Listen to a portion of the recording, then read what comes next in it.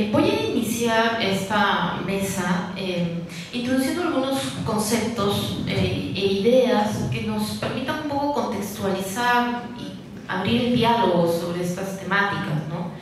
Eh, la mesa se titula Extractivismos y Desarrollos y hay una idea que está flotando también allí que es el tema de las alternativas de desarrollo. Entonces, el primer tema que hay que preguntarse y que es importante definir es qué es el extractivismo, ¿no? o qué son los extractivismos. Y es importante entonces decir que hay un patrón constante en el modelo de desarrollo y de economía en nuestros países andinos y latinoamericanos, ¿no?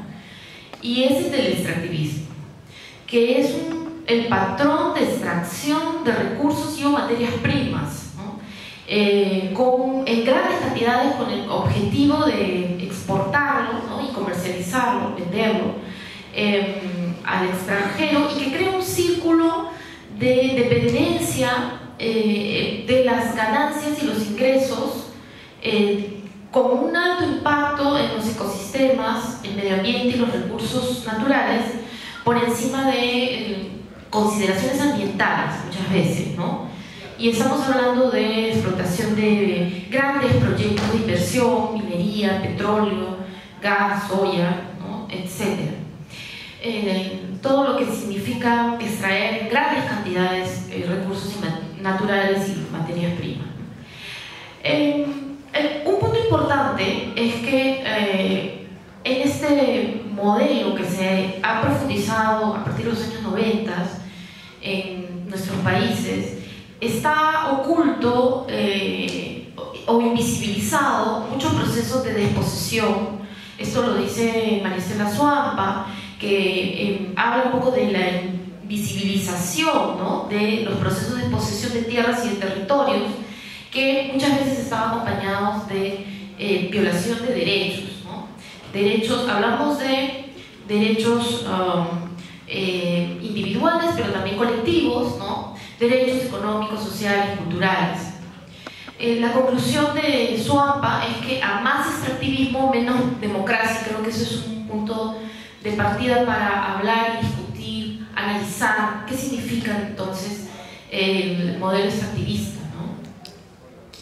Y eh, además viene acompañado de criminalización de la protesta, ¿no? Eh, un poco la estigmatización de aquellos que están eh, protestando por justamente eh, esta violación de derechos e invisibilizaciones del derecho a la naturaleza, buen vivir eh, o el cuidado del medio ambiente. Eso en primer lugar para el tema del extractivismo. ¿Por qué hablamos de desarrollo? Sería nuestro segundo gran tema. Bueno, porque en relación a ello, a este modelo que tenemos, también el desarrollo se ha convertido en un paradigma, ¿no? es un paradigma de modernidad, de progreso, eh, de cambio, y se convierte en un referente incuestionable, indiscutible. ¿no? Eh, la crítica, el análisis está mal visto, muchas veces es estigmatizado también, ¿no? Eh, pero estamos en una era de neodesarrollismo donde se redefine esos términos del eh, viejo paradigma de desarrollo, de acumulación y crecimiento, pero este desarrollo como idea eh, muchas veces no cumple sus objetivos planteados, el bienestar del ser humano, y um, tiene muchas implicancias y dimensiones, es multidimensional, eh, sociales, culturales y políticas, pero en esta afectación de derechos que ya habíamos mencionado se producen conflictos, ¿no? disputas, disputas que tienen que ver con los sentidos y contenidos del desarrollo. ¿no? Y esto también eh, afecta entonces los derechos de las personas y los derechos colectivos y por su parte da forma a una corriente de pensamiento crítica, ¿no? Eh, que es una línea de investigación, también de análisis de estos eh, procesos en América Latina eh, y globales también, que tienen que ver además con, diálogos multidisciplinarios.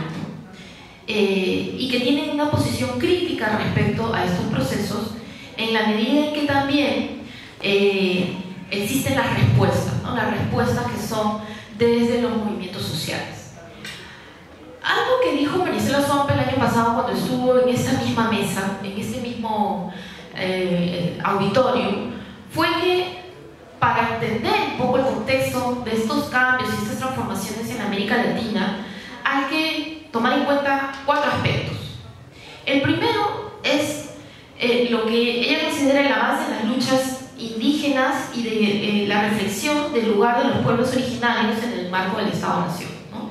que no es un debate nuevo, hay 500 años de resistencia, hay formas en que se manifiestan las identidades eh, frente a estos procesos que muchas veces son de disposición, pueden ser violentos, pueden generar conflictos y ponen en discusión qué tipo de desarrollo queremos, para qué, para quiénes. Em, aquí eh, podemos mencionar además la búsqueda de reconocimiento de derechos colectivos y territoriales, el convenio 169, el derecho a la consulta, como instrumentos que se han aplicado parcialmente, bueno, esto, esto lo vamos a ver en el caso de Perú, em, seguramente vamos a, conversar un poco más sobre el tema, y también algunos casos en América Latina, ¿no? Cómo es que em, la consulta previa no resulta vinculante, que hay temas de, la ley que hay que eh, solucionar y hay ah, respuestas también de organizaciones indígenas ¿no? sobre sus propios modelos de desarrollo, sus propias alternativas de desarrollo. ¿no? Em, entonces aquí se subraya un poco cómo es que se ha definido eh, conflictos socioterritoriales también eh, sobre la base de los problemas por el acceso a los recursos, los ecosistemas y los medio ambientes, y las disputas por las transformaciones en el territorio. Luego está en el segundo término la expansión del modelo extractivista y el retorno a la visión hegemónica del desarrollo como paradigma. Eh, y eso hace referencia a una promesa de, abundancia, es decir, la idea de que nuestros territorios y sus poblaciones no han tenido recursos, no han tenido, eh, no, están eh, acorde con la modernidad, ¿no? entonces es necesario llevarles el desarrollo, ¿no? llevarles el modelo o los proyectos o los grandes proyectos de inversión para que esto genere movimiento económico, ingresos ¿no? a las poblaciones, pero esto parcialmente se cumple. ¿no? Y tenemos una expansión que además eh, atiende un poco, eh, lleva a la reprimarización de la economía, ¿no? es decir, a este intercambio desigual de materias primas por productos transformados ¿no? en el mercado global eh, y a la dependencia de estos desarrollismos. ¿no? También está la dimensión geopolítica, donde hay un esquema de dependencia de economías y geografías de consumo, que se van a configurar eh, entre eh, estas economías eh, extractivistas y los impactos en sus ecosistemas y poblaciones. Entonces, con ellos se da esa relación de centro-periferia en la que en este momento hay una gran disputa entre el norte y Asia, ¿no? un poco por, la hegemonía del mercado global.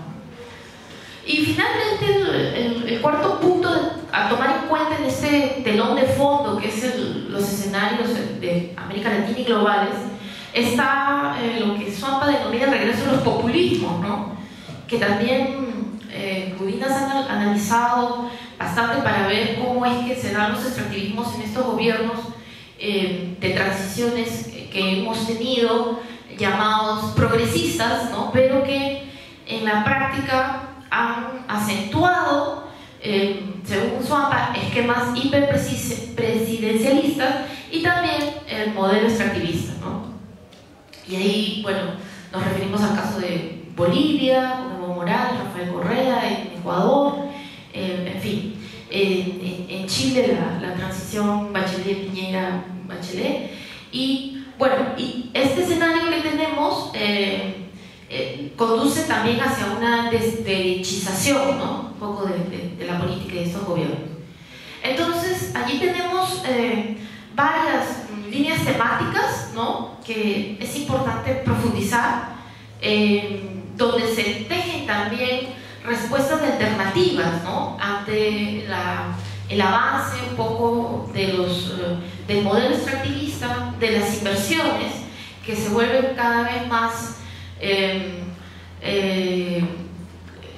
expandidos ¿no? en estos proyectos que cada vez más proliferan eh, con menos planificación ¿no? y con mayores impactos y eh, se dan respuestas en términos de alternativas de diseño de políticas públicas, ¿no? es decir, cómo mejorar la legislación para eh, un poco poner atención a los impactos, ¿no? pero que muchas veces no son suficientes, o reformas que implican eh, asambleas constituyentes, como el caso de Ecuador y Bolivia, con alternativas de derechos de la naturaleza. ¿no?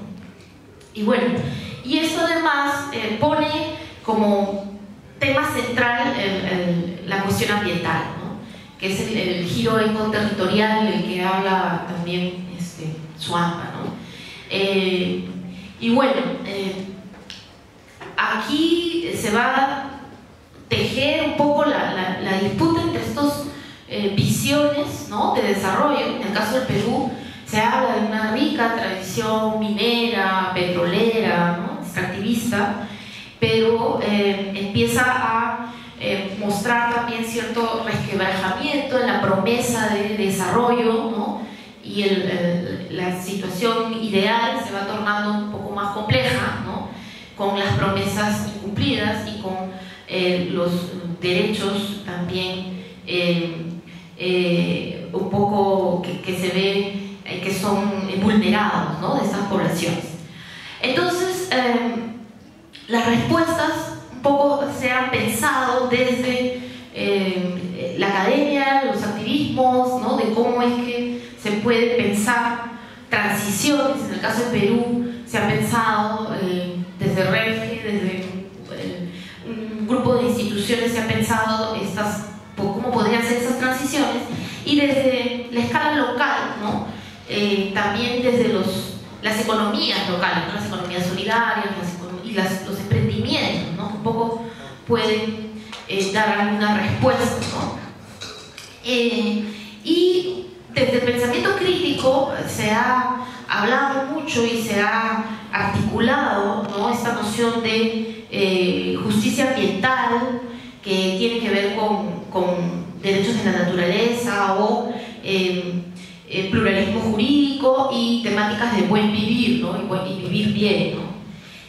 Y en el Perú es posible eh, que podamos hacer una periodización ¿no? en base a, cómo se da estos modelos de desarrollo eh, y el modelo extractivista de los conflictos eh, que atraviesan diferentes momentos y diferentes temáticas. ¿no? por ejemplo, los temas de concesión, que ponen un poco en cuestión el tema de, de la propiedad, de la propiedad colectiva, del territorio, los temas de licencia social, los riesgos de contaminación y el tratamiento de pasivos ambientales, las protestas por el derecho de consulta, entre otros tipos de, movilización que ha generado un poco eh, esta profundización del modelo. ¿no? y ahí entonces se pone un poco en, en disputa los discursos y las prácticas de desarrollo, las visiones de desarrollo, que comprende aspectos identitarios, demandas, disputas por el acceso a recursos como el, como el agua, ¿no? y los recursos naturales y también esas transformaciones eh, que se dan en, estos territorios con poblaciones campesinas, con poblaciones indígenas y además que son policlasistas, como, como dice Suama. Bueno, eh, para terminar, el último tema que sería importante eh, señalar es por qué es importante que se discutan estos temas aquí en la academia, ¿no? porque realmente necesitamos, es urgente tomar cartas en, el asunto, de cómo es que esto está generando conflictos y cómo se está dando el asedio también a los territorios de pueblos indígenas, campesinos y de distintas poblaciones distintos espacios eh, y preguntarnos y discutir, debatir, analizar eh, sobre el desarrollo que queremos, ¿no? El desarrollo, ¿para qué? ¿Para quién? ¿Para quiénes? Por su apuesta humanística e integral, debemos de articular estas eh, líneas de pensamiento y análisis considerando la pluriculturalidad, ¿no? La diversidad ecológica y territorial en el desarrollo. Bueno, eso era lo que quería un poco introducir para continuar con la mesa. Muchas gracias.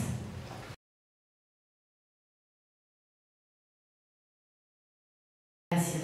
Eh, bueno, yo también voy a, voy a responder a, la pregunta planteada. Ah, a ver, eh, con, temor a equivocarme en algunos datos, pero tratando de entrar en, el tema de fondo, ¿no? que es eh, si es que todos estos procesos de conflictos no han pasado también y de, profundización de un modelo de desarrollo, ¿no? No lo han pasado también eh, las potencias y que si esto no, no tiene que pasar el, Perú, ¿no? Como país. Y yo me preguntaría o, o, replantearía la, la, pregunta si estos procesos se refieren a qué, ¿no? A etapas de industrialización, de modernización, ¿no? Eh, de auge económico. Y lo que hay que entender ahí es que no ha atravesado estas potencias, estas etapas, sin impactos y daños y pasivos ambientales, ¿no? y una serie de, de, aspectos que muchas veces no tenemos mucha información o no aparecen, pero eh, sí, efectivamente, hay grandes impactos de estos procesos. ¿no? Eh, en el caso de Joan Martínez Alide, que ha sido uno de los que ha investigado mucho sobre movimientos eh, de ecologismo popular, lo denomina él, ¿no? que han sido a través de la historia en diferentes partes del mundo. Él habla de, movimientos por daños en Estados Unidos, el caso de las hidroeléctricas, en la India. habla, por ejemplo, de la contaminación del río Amarillo, ¿no? este, en la China, en Asia, que, que es un gran referente de contaminación global. ¿no? Entonces, no pensemos que en el caso de estas potencias, digamos, han pasado por algunos de estos procesos sin tener eh, algunos impactos, sino que ha habido otro tipo de regulación, otro tipo de remediación. En algunos casos se ha logrado, en otros no, O sea, eso es algo que Eduardo Gudinas, aquí presente, eh, ha trabajado mucho. Eh, Gudinas menciona el caso de Noruega, ¿no? que siempre se toma como referente pero que tampoco se analiza efectivamente cómo han funcionado todos esos procesos de impactos ambientales, de remediación, em, que tienen un costo, justamente lo que ha sido mencionado, ¿no? que eh, esa, eh, ese costo a veces es invisible, no aparece, no, no se contabiliza, se, se, contabiliza el PBI, se contabiliza el Producto Bruto Interno, ¿no? el, porcentaje de incremento de regalías, etcétera, pero los costos ambientales muchas veces no se contabilizan, como decía Javier. ¿no? Entonces, eh, también es el caso de países como Francia, Canadá, no, Estados Unidos ya lo mencioné. Hace poco eh, Trudeau decía que este, eh, había que pedir perdón, que las iglesias, la iglesia debía pedir perdón por los daños hechos a los pueblos indígenas. ¿no? y un joven sanmartino eh, respondía ese comentario, comentaba esas noticias diciendo, pues primero eh, las empresas canadienses deberían pedir perdón por los daños que hacen en, los países como, como el nuestro, ¿no? Porque muchas veces empresas mineras canadienses aquí no respetan eh, los estándares y la legislación como si se hace en su país. Entonces, muchas veces eso es lo que yo Martínez también llama racismo ambiental, ¿no? O sea, tenemos la cuestión invertida, ¿no? Lo que se aplica en estas potencias no se aplica en, países que se consideran subdesarrollados, no desarrollados, en proceso de, desarrollo, ¿no? Eh, y esto además eh, se puede ver aquí, eh, bueno, hay grupos de investigación que también son activistas porque acompañan procesos, movimientos políticos sobre toda la historia de nuestros países ¿no? andinos y América Latina. hace poco, solo para terminar ya con, un ejemplo concreto, ¿no? En Colombia, en Cajamarca, una provincia que se llama Cajamarca como, como, la peruana, ¿no? Este, se declaró, se hizo una consulta y se declaró la prohibición de la minería y cabecera en Cuenca, ¿no?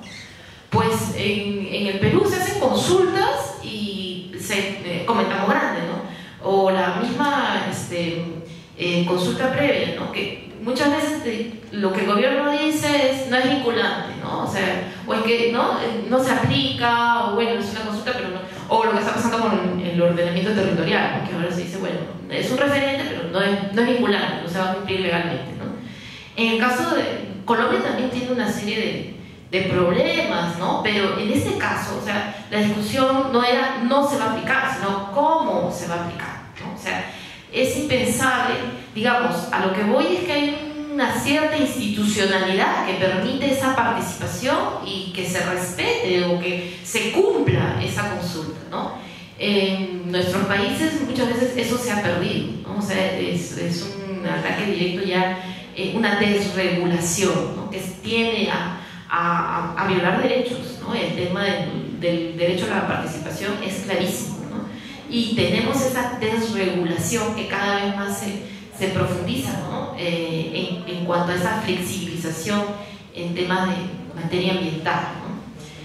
Eh, bueno, y ahí están todos los pasivos ambientales y, lo que se ha mencionado ¿no? de este paquete de paquetazo ambiental, ¿no? de decretos legislativos, en fin, que todavía no se están afectando.